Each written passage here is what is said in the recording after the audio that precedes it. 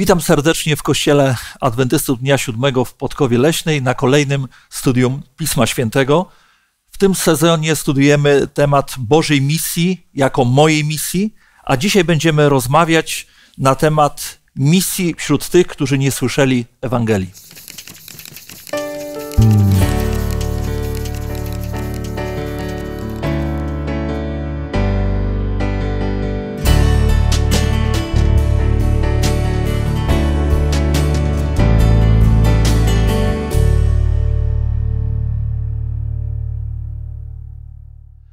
Dzisiaj w naszej dyskusji biorą udział Zbyszek, Halinka i Błażej. A ja mam na imię Norbert i będę prowadził to studium. Do modlitwy pragnę poprosić Halinę. Panie Boże, święty, potężny, wszechpotężny Boże, pochylamy nasze oblicza przed Tobą, pochylamy nasze oczy i nasze głowy przed studium Słowa Twojego. Dlatego, Panie Boże, w szczególny sposób zwracamy się o natchnienie naszych myśli, o Twojego, o Ducha Świętego, o prowadzenie, o mądrość, o zrozumienie prawidłowe, tak jakbyś Ty to chciał, Panie, abyśmy tak to rozumieli. Proszę o to szczególne błogosławieństwo dla nas tutaj, ale również dla tych, którzy będą to słowo Twoje słuchać i studiować. Proszę o to w imieniu Twoim, nasz Panie i Boże, Panie Jezu. Amen. Amen. Amen. Dzisiaj kontynuujemy taki wdzięczny i ważny temat dotyczący misji, ewangelizacji. Jest to temat, który przewija się przez e, Pismo Święte od początku do końca. Często podkreślamy, że już na samym początku pierwszym ewangelistą, tym, który przekazuje dobre wieści, jest sam Pan Bóg po upadku pierwszej e, pary ludzkiej. Dzisiaj chcemy e, powiedzieć o misji wśród tych, którzy nie słyszeli Ewangelii, a więc wśród tych, którzy po raz pierwszy zetkną się z Bożym poselstwem. W zasadzie dzisiaj jest druga część już tego studium. Tydzień temu studiowaliśmy na temat misji wśród pogan i to była misja ukazana w świetle działalności apostoła Pawła. Dzisiaj e, ma miejsce taka trochę retrospekcja, bo cofamy się do Ewangelii i chcemy na podstawie różnych historii zapisanych w Ewangeliach zobaczyć, jak Chrystus Pan docierał z dobrą nowiną do świata tego najbliższego, czyli do tych, do których przyszedł, do tych, których przyszedł zbawić jako pierwszych. W Ewangeliach spotykamy przykłady, kiedy Pan Jezus wysyła apostołów, kiedy wysyła uczniów z dobrą nowiną. Działalność e, posłańców Bożych koncentruje uwagę przede wszystkim na e, terenach Judei, a więc wśród Judejczyków, wśród Izraelitów. I e, trudno tam dostrzec działalność wykraczającą poza te granice. Jednak jednak są historie, które e, jakby przeczą temu, przeczą temu, co sam Jezus Chrystus zlecił swoim pierwszym posłańcom, naśladowcom, apostołom. E, w Ewangeliach czytamy, że Chrystus nakazał uczniom iść najpierw do osób zagubionych w Izraelu. To słowo najpierw obejmowało czas, w którym Pan Jezus chodził po ziemi. Jednak mamy takie historie, które przeczą jakby E, tej działalności i wykraczają poza granice służby wśród e, oczywiście Żydów. Misja zagraniczna, czy Jezus Chrystus chciał, aby już za jego dni ktokolwiek usłyszał o Ewangelii wśród tych, którzy, e, którzy nie należeli do Izraela? Dzisiaj chcemy właśnie przyjrzeć się bliżej takim miejscom i takim sytuacjom, kiedy zobaczymy, że Pan Jezus pragnął, aby to poselstwo już tak może w początkowej fazie dotarło do tych, którzy nie należeli do Izraela. E, mamy taką historię, która opisuje działalność Jezusa Chrystusa w miejscach, które mogły być e, miejscami, które zdziwiły nawet apostołów. E, takie miejsca to Sydon i, i Tyr. No właśnie, co wiemy o Sydonie i Tyrze. E, jaka jest historyczna e, podstawa, kolebka tych miast czy państw? Czy Biblia coś poza Ewangeliami wspomina nam na temat pochodzenia tych, e, tych miast i tych okolic? Zanim na to pytanie odpowiemy, to wydaje mi się, że warto wyjaśnić, skąd taki radykalny nakaz Jezusa Chrystusa, żeby ta pierwsza fala ewangelizacji misji dotarła najpierw do narodu wybranego. Pamiętajmy o tym, że Pan Jezus miał pewien plan szkolenia też ludzi wierzących. Nie bez powodu wybrał 12, a nie 120 apostołów, żeby przygotować ich do misji, a potem oni, wyszkoleni, e, wprawieni już w to dzieło zwiastowania Ewangelii, mogli szkolić innych. Stąd też naród żydowski był przygotowany o wiele bardziej do przyjęcia Ewangelii niż narody pogańskie. Gdyby ten naród przyjął Ewangelię, to ilość misjonarzy, którzy gotowi by byli pójść do reszty świata, byłaby naprawdę przeogromna. Stąd też ten akcent pierwotny na naród żydowski, ale bez jakiegoś sztywnego wykluczenia innych narodów. To nie było tak, że Pan Bóg wywyższył pewien naród, inne pomijał, bo były to narody gorszego gatunku. Nie o to chodziło.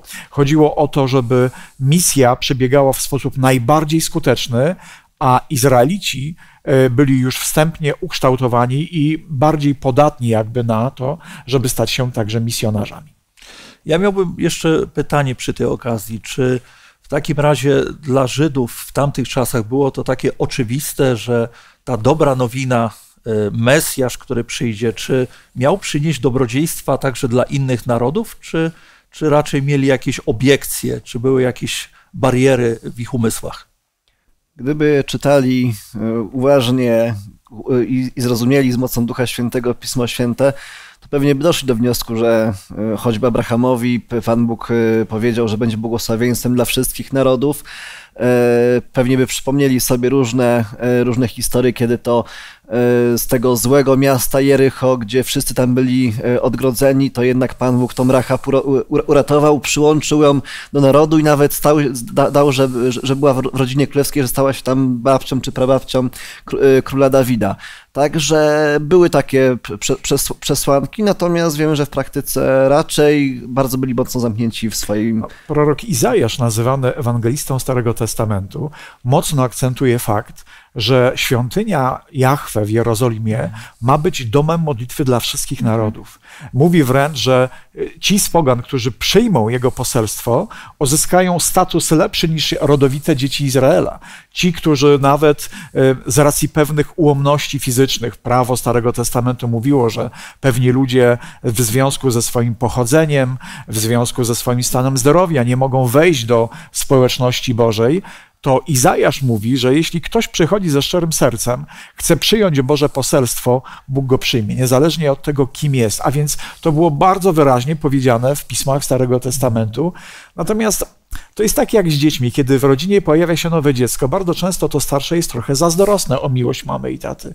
I dzielenie się Bożą miłością niezbyt łatwo przychodziło narodowi wybranemu, bo w końcu dlaczego dzielić się Bogiem, skoro można go mieć tylko dla siebie? I stąd chyba z takiej postawy troszeczkę egoistycznej wynikało, wynikała ta rezerwa wobec narodów pogańskich. No ale jednak e, mamy w pismach e, wiele treści i wiele przykładów, jak choćby ten ostatni z księgi Izajasza, że Bożym pragnieniem i celem było, aby dobra nowina, aby prawda o Bogu, o, o jego ścieżkach, o jego drodze, bo często takie porównanie występuje w Piśmie Świętym, dotarła do wszystkich pogan. Jak miało się to wtedy stać? Jak, jak te miasta, państwa miały się o tym dowiedzieć? Czy byli wtedy misjonarze wysyłani e, z Izraela, aby opowiadać o, o tych rzeczach? Czy w ogóle coś takiego miało miejsce, żeby ktoś e, przekroczył próg czy granicę Izraela i poszedł i zwiastował dobrą nowinę? Zawsze tak było. Weźmy pod uwagę historię Melchizedeka. Abraham, w owym czasie uważany za męża Bożego, za księcia Bożego, człowiek, przez którego Bóg e, chciał zesłać błogosławieństwa całemu światu. A tuż obok pojawia się nie wiadomo skąd tajemniczy Melchizedek, któremu Abraham oddaje cześć, szanuje go jako Bożego kapłana, co więcej, nazwany jest kapłanem Boga Najwyższego. E, kimś, kto służy Bogu w sposób rozumny, mądry, oddany, prawdziwy. E, mamy na przykład e, proroka Bileama, który jest znany w okolicy jako ten, który e, objawia wolę Bożą, prawda? Balak, pogański król, wzywa go, żeby przeklinał zastępy Izraela. Ten człowiek był znany.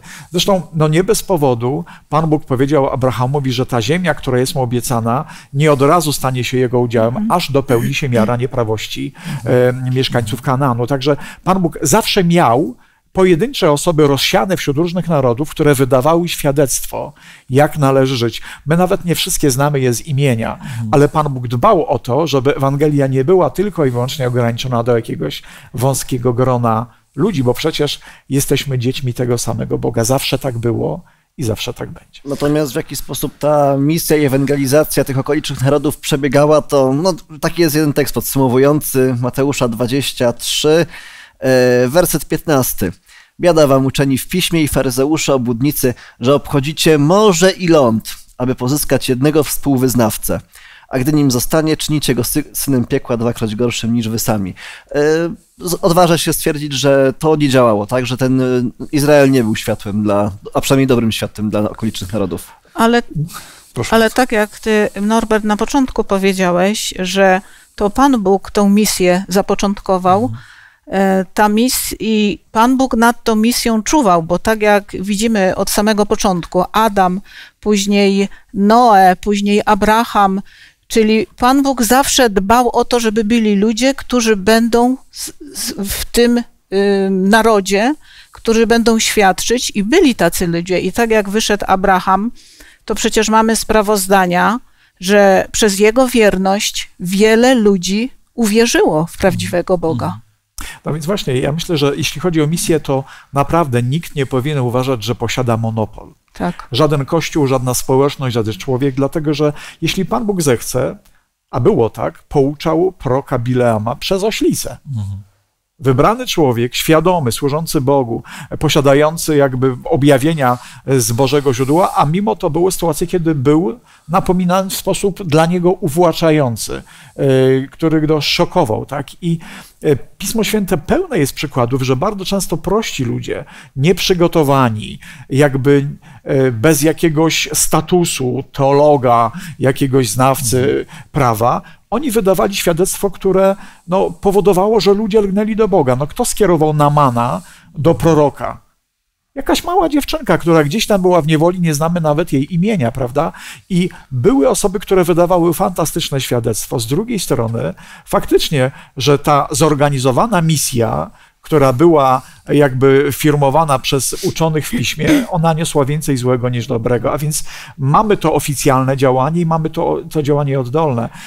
I no, można dyskutować, prawda, jak to wyglądało. W każdym razie na pewno y, trudno powiedzieć generalnie, że, że Żydzi nie spełnili tego zadania, y, bo pewnie niektóre rzeczy udawały się, natomiast faktycznie nie było to tak różowo, jak, jak, jak chcielibyśmy. Bo nie dzięki mocy, ani dzięki sile się misja toczy, ale dzięki działaniu Ducha Świętego i myślę, że na przykład ten e, człowiek z zagranicy, dworzanin królowej Etiopii, o którym czytamy tak. w dziejach apostolskich w 8 rozdziale, to pewnie uważam, że więcej pracy dobrej zrobił Duch Święty niż jakikolwiek z uczonych w piśmie. No, przyjechał, kupił zwój Izajasza, ktoś mu o tym powiedział. E, pytanie, czy rzeczywiście każde nawrócenie to jest ewidentny cud, w sensie, że Pan Bóg bezpośrednio mówi do człowieka. Najczęściej jakiś człowiek staje na drodze innego człowieka i jest jakąś iskierką, ale ewidentnie każde nawrócenie jest przede wszystkim Bożym działaniem. I tutaj my ludzie nie potrafimy absolutnie nic sami z własnych jakby sił wykrzesać. Tak, właśnie patrząc na Stary Testament widzimy, że różne są sposoby e, działania Boga. Zresztą tak jak tutaj często wspominamy list do Hebrajczyków, początek, wielokrotnie i wieloma sposobami. E, przemawiał Bóg dawnymi czasy i e, myślę, że czytając Stary Testament, sięgając do niego często, widzimy różne przykłady. Tych przykładów jest więcej. Kiedy mówiłeś o Namanie, też mi się właśnie przypomniała ta postać, ale mamy i Jonasza, tak. E, mamy oczywiście Dawida, który powiedział, że jest gotowy o Bogu opowiadać nawet na krańcach ziemi i wyspom chętnie zaniesie tą dobrą wieść o Bogu. I widać, że w sercach ludzi było to pragnienie opowiadania o Bogu. Fakt, że tak jak tutaj było wspomniane, nie była to zorganizowana misja, nie szli grupami i opowiadali po E, po miastach innych, pogańskich, po innych krajach oczywiście dobrej nowiny, ale nigdy w Izraelu nie było drzwi zamkniętych dla tych, którzy chcieli stać się prozelitami, którzy chcieli się nawrócić, którzy chcieli stać się częścią Izraela. Tak działo się też w czasach Jezusa Chrystusa, tak? Wiele osób uwierzyło w trakcie misji Chrystusa, które nie były z Izraela. Ale chciałbym właśnie wrócić do ziemi Genazarat, gdzie Pan Jezus przebywał z uczniami i tutaj wspomniane jest Tyr i Sydon. I co moglibyśmy powiedzieć na, na temat e, tych miast, państw, jak, jak możemy je określić? Gdzie jest ich początek i, i dlaczego dla Pana Jezusa mogło być to ważne, żeby właśnie tam się znaleźć? Bo wiemy, że w jego misji nic nie było przypadkowego. Tyr jest e, znany w Biblii jako niezwykle bogate, dumne, portowe tak. miasto. Miasto, które się chełpiło tym, że jest niezdobyte, że jest niezależne, że nie potrzebuje niczego, że wszystkie dobra e, tego świata są w jego posiadaniu. Król Tyru w końcu jest e, jedną z ilustracji proroczych upadku Lucyfera, więc po prostu to jest poważna rzecz. A więc i, za, i, Tyr były to miasta niezwykle bogate, y, zapewniające komfort, komfort życia. Z drugiej strony były to też miasta y, zepsute. Miasta, które oferowały jakieś towary, y, oferowały jakieś relacje handlowe, ale wraz z tym no, sączyły pewien, pewien taki jad niemoralności, odstępstwa, niezależności od Boga. I te dwa, te dwa miasta, Tyr i Sydon, one są synonimem pewnego zagrożenia, jakie grozi ludziom wierzącym ze strony właśnie zła grzechu. Zło ma w sobie jakiś taki e, magnetyzm, że, że potrafi być atrakcyjne, prawda? Oczywiście to jest to pierwsze wrażenie, potem pojawia się żądło, które sprawia jakąś duchową ruinę, ale, ale zło ma w sobie tą to dobre opakowanie, takie, takie, które znieczula, przyciąga. E, wydaje się, że to jest coś dobrego nawet na początku, dopiero potem okazuje się, jakie są skutki. A więc miasta portowe, które zazwyczaj z natury są zepsute, podobnie w Koryncie było, prawda? Mhm. Tam, gdzie jest dobrobyt, zazwyczaj idzie w ślad za tym jakaś niezależność od Boga i niestety niemoralność. Tak, ale wspominając właśnie Tyr i Sydon, możemy udać się do historii, która pokazuje, że y, relacje i dobre stosunki jednak istniały nawet pomiędzy tymi miastami a Izraelem. Mamy czasy Salomona, mamy czasy Dawida, nawet była współpraca handlowa niekoniecznie od razu e, było tak, że, że Izraelici zmieszali się z tymi państwami, miastami, ale to jest jakiś odcinek czasu, jakaś, e, jakaś historia, która pokazuje dobre wzajemne stosunki. Może za chwilę przejdziemy, co dalej się stało, ale czy właśnie Biblia w tym miejscu rozpoczyna opowiadanie, czy możemy powołać się na jakiś fragment Pisma Świętego, który by troszeczkę nas cofnął wstecz w czasie gdzie mamy początek opisu tych miast, tych państw? E, czy możemy taki fragment podać i co on nam mówi właśnie o, e, o Bogu i o jego planach względem Izraelitów, a może tych miast? No, jest takie sprawozdanie biblijne w Księdze Sędziów, gdzie jako przywódca Jozue e, od spolecenia Pana Boga miał za zadanie tępić okoliczne narody, aby nie miały tego złego wpływu na naród izraelski. Mhm. I jest takie sprawozdanie, no które. No właśnie, bardzo poproszę, może byśmy odczytali ten fragment. Tak. Jest to e, drugi rozdział Księgi Sędziów i siódmy wiersz. Mhm. Lud służył Panu przez wszystkie dni życia Jozuego oraz przez wszystkie dni starszych, którzy Jozuego przeżyli, a którzy oglądali wszystkie dzieła Pana, jakich Pan dokonał dla Izraela. Jozue, syn Nuna, umarł. A gdy również całe to pokolenie wymarło i nastało po nich inne pokolenie, które nie znało Pana ani tego, co On czynił dla Izraela, zaczęli synowie izraelscy czynić zło w oczach Pana i służyli Baalom. I jeszcze z trzeciego rozdziału. Proszę bardzo. A to są narody, które Pan pozostawił w spokoju, aby przez nie doświadczyć Izraela, tych wszystkich, którzy już nie widzieli, nie widzieli o wszystkich wojnach. I tu jest dalej sprawozdanie, trzeci wiersz mówi, jakie właśnie te narody pozostały. Mhm. Pięciu książąt filistyńskich i wszyscy Kananejczycy, Sydończycy, Chiwijczycy, mieszkający, y, mieszkańcy na pogórzu libańskim od góry Bal-Chorom aż do wejścia do Hamat. Mhm. Czyli tutaj to sprawozdanie mówi, że te miasta zostały zachowane przez Pana, ale tak jak tutaj jest powiedziane, aby to było takim doświadczeniem dla Izraela. Czy oni będą trzymać się z dala od tego bałwochwalstwa, czy, czy będą wierni Bogu, czy pójdą za tym. Mhm. To był główny cel. No właśnie, czyli Pan Bóg y, zachował te miasta. Tak. E, miał w tym konkretny cel, tak jak tutaj wspomniałaś. E, no i teraz pytanie, czy Izraelici utrzymali się, czy spełnili to pragnienie Boga, aby stać wiernie przy Bogu? Czy mamy sprawozdanie e, z tamtej historii, że Izrael jednak zafascynował się tymi miastami, ich kulturą, ich wierzeniami i no i doszło do apostazji, do odstępstwa. Czy, czy coś takiego w ogóle jest w Piśmie Świętym? Tak jeszcze może od, odnośnie tego Pana Boga, który pozostawił, no e, jest to tak w ten sposób sprawozdane, ponieważ no, w pewnym sensie Pan Bóg w, tym, e, w tej relacji wziął na siebie odpowiedzialność, -hmm. natomiast faktycznie to Izraelici tak za bardzo im się nie chciało już walczyć i Pan Bóg powiedział, jest, jest tak zapisane, na, ta wina tak jakby Pan, Panu Bogu jest przy, e, przypisana, natomiast no to Izraelici też, byli, te, też, tutaj byli, e, też tu byli winni. No i faktycznie no mamy całą księgę sędziów, gdzie, gdzie, gdzie te narody najeżdżały i to w szczególności najeżdżały w momencie, kiedy Izraelici byli niewierni Panu Bogu, więc faktycznie no było to, był to problem dla Izraela i dla ich narodu. Przez wieki pojawiły się uprzedzenia, antagonizm. Wiemy, że Izraela trudno jest opisać w jednym wersecie czy w jednym zdaniu, ponieważ Izrael był w różnej kondycji duchowej.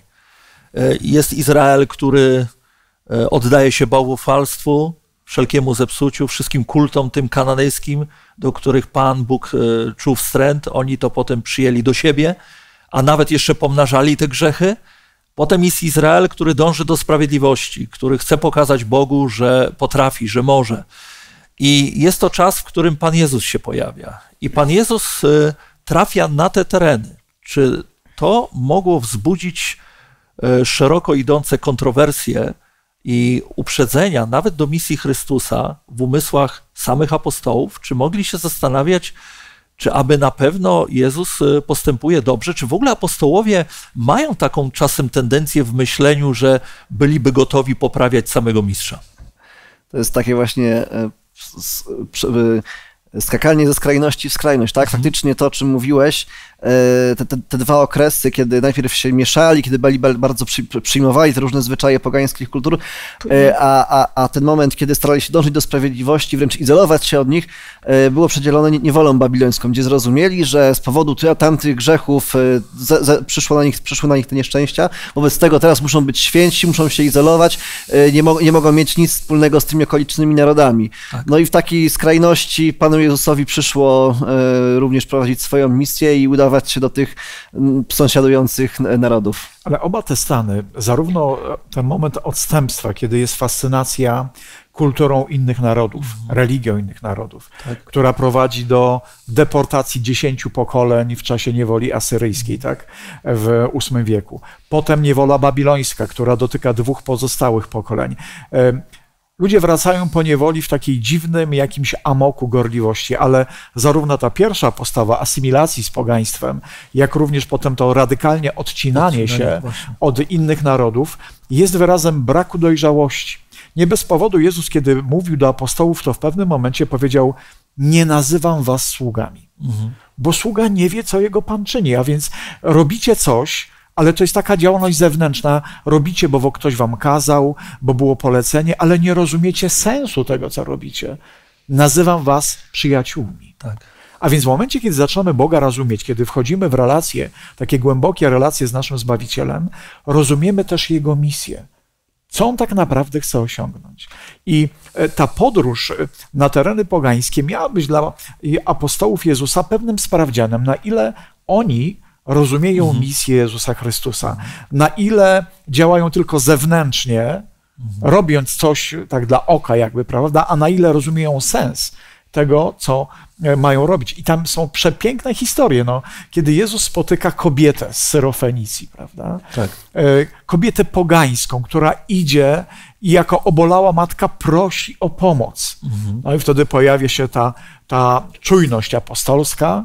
E, apostoł Jezusa wypędzają, odganiają tą kobietę, bo raz, że zakłóca e, spokój mistrza, że, że zabiera mu czas, cenny czas, a po drugie, no przecież jest poganką, tak? Jakim prawem śmie w ogóle prosić o jakąkolwiek pomoc, skoro jest nieczysta, jest człowiekiem e, drugiej kategorii. Mhm. No kobieta to może w ogóle nawet człowiekiem tak, nie tak. jest, prawda? I Pan Jezus zdaje się jakby na początku e, nie reagować, tak jakby nawet w pewnym sensie przychylał się do tych takich bardzo y, radykalnych, takich niegrzecznych, bezdusznych słów swoich uczniów, y, mówiąc, niedobrze jest zabierać chleb dzieciom i rzucać psom. I to mogło im się podobać. Im na pewno. Natomiast próbuję wyobrazić sobie reakcję tej kobiety, gdyby ktoś nazwał mnie psem. Mhm. Wiecie, to już jest jakby takie, takie wdeptanie, prawda, w ziemię, bo ktoś odbiera mi godność. No, żaden z ludzi nie czuje się psem, czuje się człowiekiem, tak? Tymczasem Jezus używa tych dosyć radykalnych słów, ale dalsza część rozmowy wskazuje, że Jezus nigdy tak o ludziach nie myślał. Rzucił pewną tezę, która mogła być bardzo popularna, prawda, wśród Żydów. No, ja znalazłem kiedyś taką wypowiedź, która um, brzmi mniej więcej tak, że chleb kupiony od Samarytan jest bardziej nieczysty niż wieprzowina.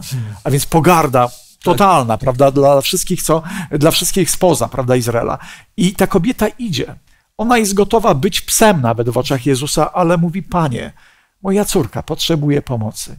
I chociaż jestem być może psem, to przecież w każdym domu y, psy jedzą okruchy. Y, ludzie, którzy są w porządku, którzy są wrażliwi, y, z szacunkiem traktują nawet psy, tak? Jestem tym psem, zgoda, ale pomóż mi. Co robi Jezus? Takiej wiary nie znalazłem nawet w Izraelu. I w tym momencie uczniowie byli zszokowani, bo, bo Jezus, który zdawał się przychylać do ich poglądów, tych tradycyjnych poglądów, że poganie są pod ludźmi, mhm. nagle wywyższa tą kobietę, mówi: To jest wzór, z którego możecie czerpać. Uczcie się od niej, bo ona rozumie, o co chodzi w misji. Ona kieruje się miłością, ona jest gotowa dla tej miłości cierpieć, zrezygnować ze swojej godności, walcząc o córkę. Ona wie, jak dotrzeć do Bożego serca. I to jest piękne. Pan Jezus naprawdę jest niesamowity. I zobaczmy, to nie jest jedyny przykład, który występuje w Ewangeliach, kiedy Chrystus nagradza wiarę osób spoza Izraela. E, jest, są kolejne przykłady, ale e, ciekawe jest to, że właśnie ta historia jest zapisana w dwóch Ewangeliach. W Ewangelii Mateusza w 15 rozdziale od 22 po 28 i w Ewangelii Marka 7 rozdział 24 po 30. Wśród teologów, wśród biblistów panuje taka opinia, że jedna Ewangelia jest szczególnie adresowana e, do pogan, druga do Żydów. Gdybyśmy poszli tym tokiem myślenia, jaką różnicę, może nie podobieństwa, bo podobieństwa są, ale jaka różnica występuje e, w obu tych przekazach? Czy jest w ogóle jakaś różnica? Czy, czy, możemy, e, czy możemy ją zaobserwować, porównując te dwa teksty, te, te dwa pasaże myśli? Ale może zanim odpowiemy na to pytanie, to y, ja tak zauważam, i że skądś ta kobieta musiała dowiedzieć się o Jezusie mhm. i wierzyć w to, że to jest nadzwyczajna osoba, że ona ma moc uwolnić jej córkę od demona. To była jedyna nadzieja. No właśnie. Jedyna. Tak. I sprawozdanie biblijne nam to nie mówi, ale inne komentarze natchnione mówią nam, że tam byli Żydzi, którzy byli wierzącymi i być może stąd ona właśnie. Może też, ale też mamy fragment, który e, będzie pewnego rodzaju podpowiedzią, ale dziękuję za to myśl, pójdziemy jeszcze w tym kierunku, ale może wróćmy jeszcze do tego pytania, które postawiłem, mhm. bo wiemy, Piśmie Świętym nie ma przypadkowych zapisów, y, nawet pewne szczegóły, drobnostki mogą mieć ogromne znaczenie dla y, głębszego rozumienia misji Pana Boga. Więc y, czy, czy mamy na podstawie tych, tych opisów jakieś różnice? Czy uchwyciliśmy jakąś różnicę? Jak na przykład Mateusz przedstawia tą niewiastę? Że jaka to jest niewiasta? Skąd ona pochodzi? Mateusz 15, 22 i oto niewiasta kananejska. No właśnie. Natomiast w Ewangelii Marka 7,26, a niewiasta ta była Greczynką, rodem z Syrofenicji. Dużo bardziej szczegółowo. Tam Mhm. Mateusz tak bardzo spłycił to, mo- można powiedzieć. Nie było to istotne być może dla Żydów. Dla nich każdy poganin to poganin. Tutaj widać Tak. tak, bardzo osobowo Marek e, to zapisał. Mhm. No, to, to, to były bardzo konkretne wypowiedzi, bo Kananejka y, Żydom kojarzyła się jednoznacznie. Tak. No, kim byli mieszkańcy Kanaanu? Bałwochwalcy. W historii, prawda, Izraela. To byli ludzie, których trzeba było praktycznie zniszczyć. Tak? Wrogowie. Wrogowie, zagrożenie duchowe, ja- w ogóle no, poganie ze swoją religią śmieszną, pełno zabobonów, to, to, to, to była jakaś totalna pomyłka. Żydzi uważali, że to jest opał do piekła, prawda? To są ludzie skazani na ogień i, i, i tylko do unicestwienia. Y, y, Widać w tych słowach taki dystans. Prawda, między narodami. Natomiast Marek y, po prostu informuje rzetelnie, że była to kobieta, która była Greczynką, mieszkająca gdzieś tam powiedzmy na terenie Syrii, prawda. Y, I to nie był ten problem. Poganie nie mieli tego problemu różnic narodów, prawda, jakichś nacji, dlatego że, że generalnie poganie byli dosyć tolerancyjni. Oni chętnie wymieniali się kulturą, religią, prawda, przejmowali kulty różnych bogów, Rzymianie, Grecy, Nawet Babilończycy. Babilończycy, Tak. no Asyryjczycy, generalnie ci ludzie byli asekuracyjni. Lepiej mieć y, kilku bogów, bo któryś może, Może okazać się pomóc, prawdziwy, tak, prawda? albo więc, pomóc. A więc lepiej więcej niż mniej. E, Natomiast e, tutaj widać, jest to, jest to też atut Ewangelii, że Ewangelie nie retuszują życia. Mhm.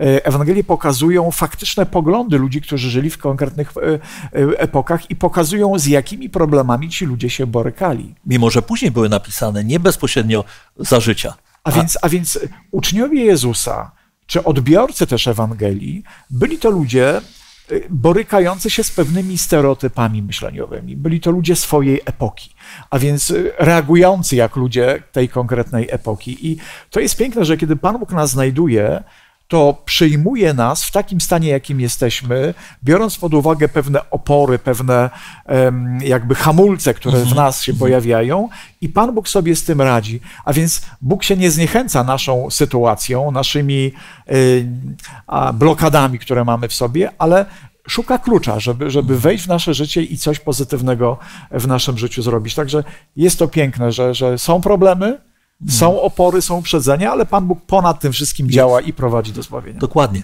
Y, Jest jeszcze może jakaś uwaga? Może za, zaobserwowaliśmy jakieś jeszcze różnice y, w tekście? Y, Wracając do tych różnic pomiędzy tymi dwoma opisami, ja znalazłem pewien fragment w Ewangelii Marka w wersecie 27, gdzie w wersecie 27 możemy przeczytać, może inny przekład inaczej to odda, korzystam z Biblii Warszawskiej, pozwól, aby najpierw nasyciły się dzieci. I to jest ciekawe, bo ta Ewangelia adresowana jest do pogan. I tutaj w tym wersecie widzimy, że najpierw Żydzi, a przyjdzie czas, Dla że i poganie. Nie odtrąca Chrystus, daje jakby e, furtkę, e, pozwala myśleć szerzej, tak? E, Nieraz, gdy czytam tą historię, gdy wracam do tej historii, myślę sobie tak, że sposób, wyraz twarzy, stosunek do tej osoby, chociaż może te, te słowa były dość ostre i zdecydowane, e, mam takie wrażenie, takie odczucie duchowe, że wyraz twarzy Chrystusa w tym momencie i w tym czasie był taki, że ta kobieta odnalazła nadzieję w jego obliczu i sięgnęła dalej i wypowiedziała te, te słynne e, słowa. A więc historia kończy się bardzo dobrze. Jej prośba jest oczywiście wysłuchana, ale pojawiła się taka refleksja, e, skąd w takim razie ona mogła usłyszeć, skąd mogła się dowiedzieć o tym, co Chrystus czyni i jak wielkich rzeczy, jak, jak wielkich rzeczy dokonuje. Mamy wiele fragmentów w Nowym Testamencie, które pokazują działalność Chrystusa i mówią o tym, że do Chrystusa lgnęło wielu ludzi, wielu ludzi. E, Popatrzmy do Mateusza 9 rozdziału i wersetu od 35 do 38. Jeżeli ktoś miałby pragnienie e, przeczytać te fragmenty, to poproszę oczywiście. I obchodził Jezus wszystkie miasta i wioski, nauczał w ich synagogach i zwiastował Ewangelię o Królestwie i uzdrawiał wszelką chorobę i wszelką niemoc. A widząc lud, użalił się nad nim, gdyż był utrudzony i opuszczony jak owce, które nie mają pasterza. Wtedy rzekł uczniom swoim, żniwo wprawdzie wielkie, ale robotników mało, proście więc Pana żniwa, aby wyprawił robotników na żniwo swoje.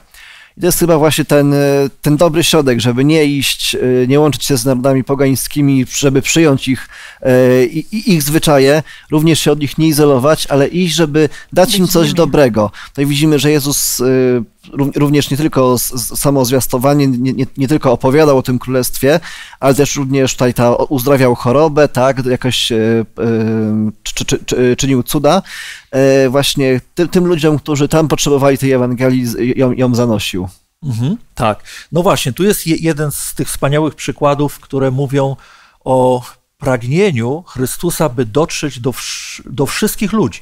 Ale kontekst nam się znacznie rozszerza, gdy czytamy początek Ewangelii Mateusza, w zasadzie czwarty rozdział i wersety od 23 po 25, gdzie ponownie ukazana jest działalność Jezusa Chrystusa. Ja mogę czytać ten fragment.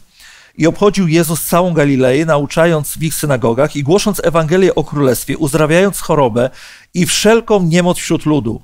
I rozeszła się wieść o nim po całej Syrii i przynosili do niego wszystkich, którzy się źle mieli i byli nawiedzeni różnymi chorobami, cierpieniami, opętanych, epileptyków, sparaliżowanych, a on ich uzdrawiał i szli i szły za nim liczne rzesze z Galilei, z Dziesięciogrodu i z Jerozolimy, i z Judei, i za Jordanię. Popatrzmy. Nie ma się co dziwić. E, ludzie, którzy potrzebują pomocy, są zdeterminowani, żeby szukać kogoś, kto może ich problemy rozwiązać. Mhm. Dzisiaj podobnie, jeżeli ktoś jest nieuleczalnie chory, e, śledzi internet, szuka jakichś nowatorskich metod leczenia, prawda? Tak. Chce sobie pomóc, szuka jakiejś pomocy. Y, ludzie się nie zmienili pod tym względem i wtedy też tak było. Może wolniej to działało, bo te wieści roznosiły się troszeczkę wolniej, ale jednak to, co robił Jezus, przekraczało granice Ziemi Świętej. Mhm. Te wieści dochodziły do różnych pogańskich narodów i ci ludzie lgnęli do Jezusa, szli w nadziei, że nie będą odrzuceni. E, ale wcześniej też czytaliśmy e, tutaj bardzo ważny tekst, który właśnie mówił, że Jezus patrzył na ludzi i widział, że są jak owce bez pasterza. Widać, że zawiodła misja wewnętrzna. Mhm. Była potrzeba, żeby iść z Ewangelią szerzej, a tymczasem wewnątrz Kościoła ta misja do końca nie działa. Gdzie się podzieli pasterze? No właśnie, w, e, idąc do, do, do tej myśli ostatniej, e, to już w Starym Testamencie, choćby w księdze Ezekiela, 34 rozdział, tam jest wyraźnie pokazane, że ci pasterze już wtedy zawiedli, więc to, to się ciągnęło od dłuższego czasu. Fakt, że, że teraz ten Izrael inaczej wyglądał, tak jak mówiliśmy, niż wtedy, bo jednak prezentował siebie przynajmniej to przywództwo religijne jako, jako te, które ma prowadzić, które ma to światło. Zresztą Paweł w liście do Rzymian w drugim rozdziale tak przedstawiał kapłana czy faryzeusza jako ten, który jest nauczycielem e, ludzi, którzy żyją w ciemności. A, a jednak, jednak e, gdzieś idea, istota tej misji, do której e, powołał ich Pan Bóg, została zagubiona. Chrystus jakby nie mógł e, być przedłużeniem tej misji, wręcz przeciwnie, pokazywał, że kierunek, który oni obrali, to nawet jest to kierunek zgubny. Popatrz, e, e, ówczesny naród żydowski miał dosyć duże grono kapłanów teologów uczonych tak. w piśmie. A więc kiedy padały pytania teologiczne, natychmiast pojawiała się odpowiedź. Przychodzą mędrcy ze wschodu, szukają nowonarodzonego króla, pada pytanie, gdzie miał się narodzić, teolodzy wiedzą. Tak. Natomiast brakuje duszpasterstwa. Brakuje tej misji, misji wewnętrznej, tej troski o pojedynczych wyznawców. I przez to Kościół też stygnie, tak?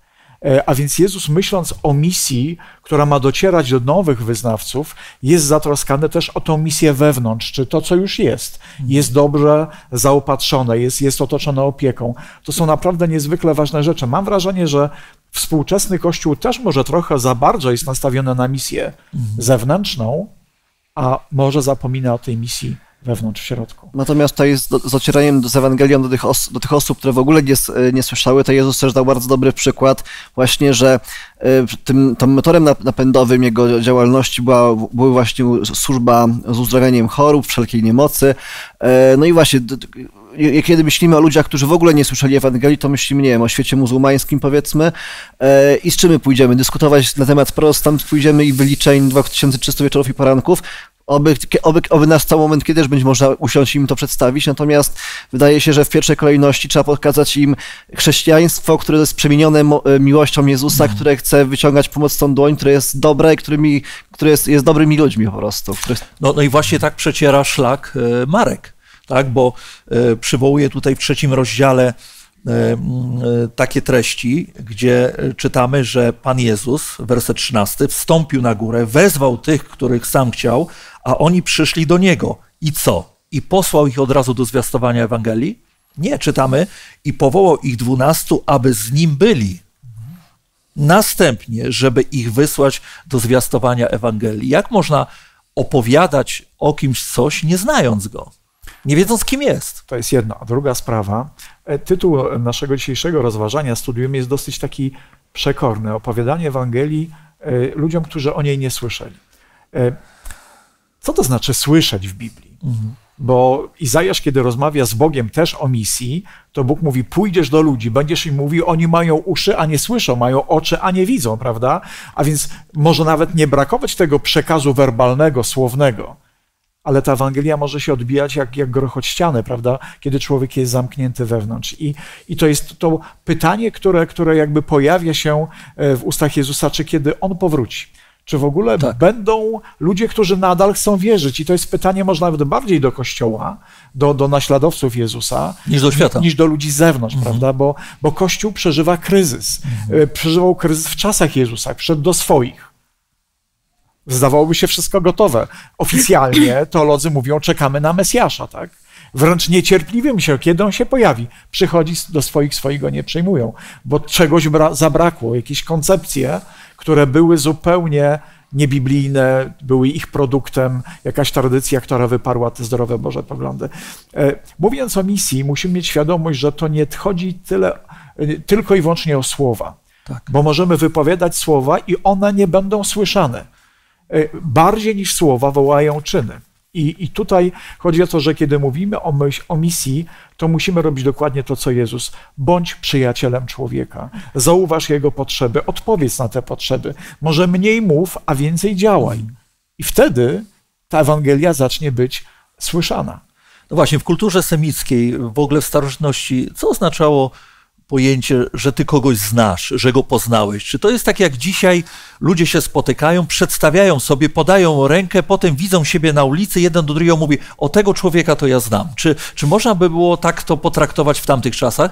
Co miał Chrystus e, na myśli, gdy, gdy właśnie e, mówił, że życie wieczne jest e, zależne od znajomości Boga i Chrystusa?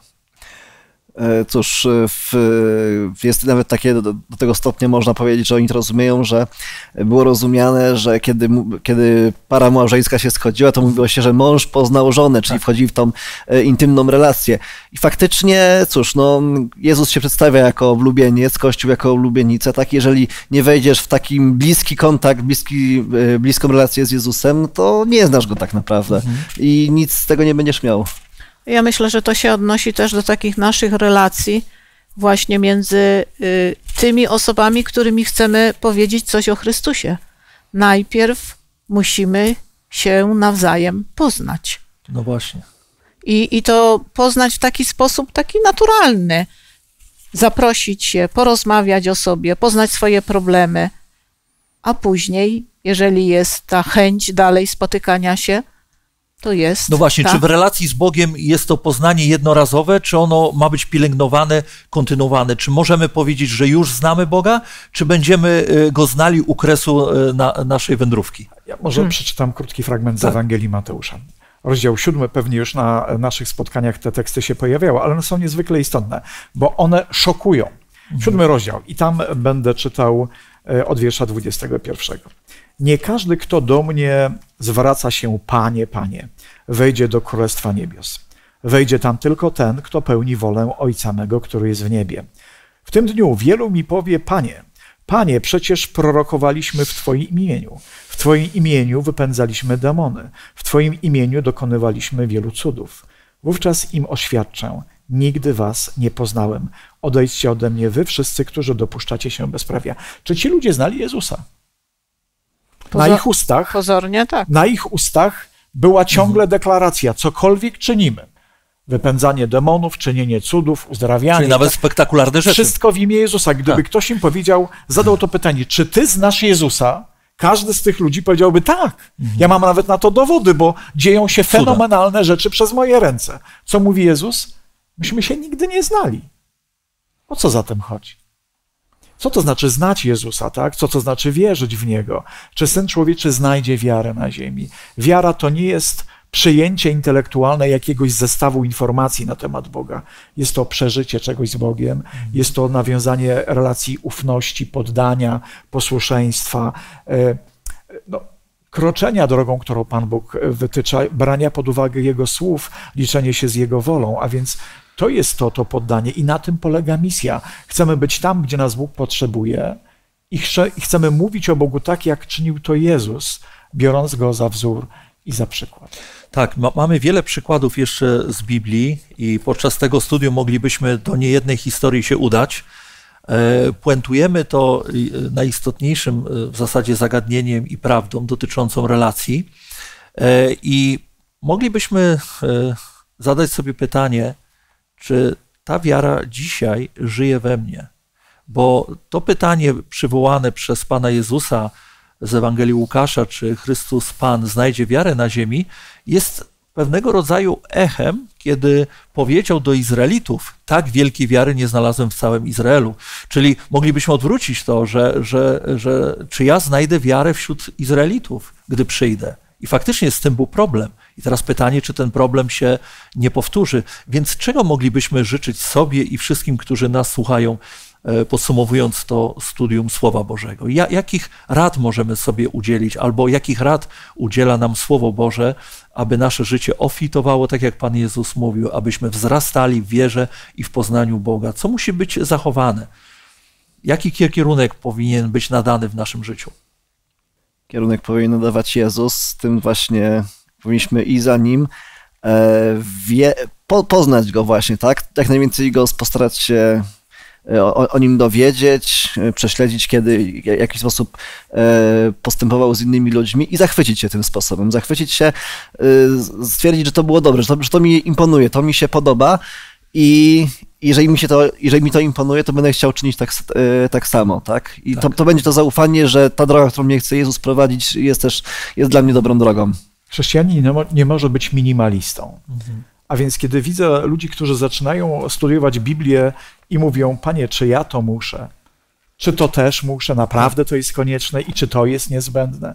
Jeżeli ktoś targuje się z Bogiem i próbuje wynegocjować taką opcję najmniej, e, powiedzmy, wymagającą, coś jest nie tak. Człowiek wierzący pyta, panie, co mogę jeszcze? Jeszcze, dokładnie. Co mogę jeszcze dla Ciebie, bo chcę maksymalnie się Tobie oddać i poświęcić. Chyba tego powinniśmy sobie życzyć.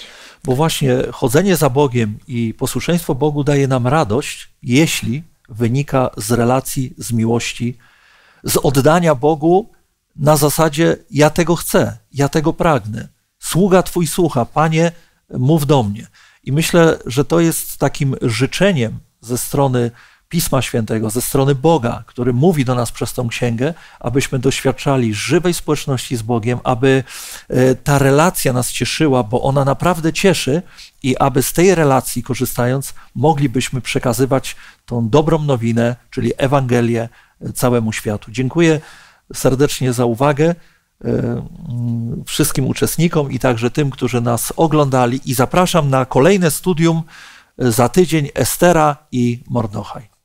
A do końcowej e, modlitwy chciałbym poprosić Błażeja. Drogi nasz Panie Boże, drogi Jezu, prosimy Cię, abyś poruszał nasze serca, abyśmy byli przepełnieni Twoją miłością i tym kierunkiem, jaki Ty miałeś, kiedy byłeś tutaj na ziemi, aby docierać do ludzi, aby być dla nich, e, być dla nich e, nadzieją, aby nieść im e, zbawienie. Prosimy Cię, abyśmy mogli podążać w Twoje ślady, abyśmy mogli dzielić się tym, co mamy najlepsze, tą Ewangelią i nadzieją zbawienia. Chcemy, Panie, abyś nas używał, abyś nas prowadził i w Twoje ręce się powierzamy. W drogim imieniu Jezusa Chrystusa. Amen. Amen.